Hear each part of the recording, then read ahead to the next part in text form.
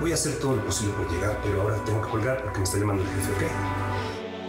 Hola amigos, soy Gabriel Porras y quiero que no se vayan a perder por ningún motivo mi nueva película aquí en Cine Latino que se va a llamar Patricia, una pasión escondida.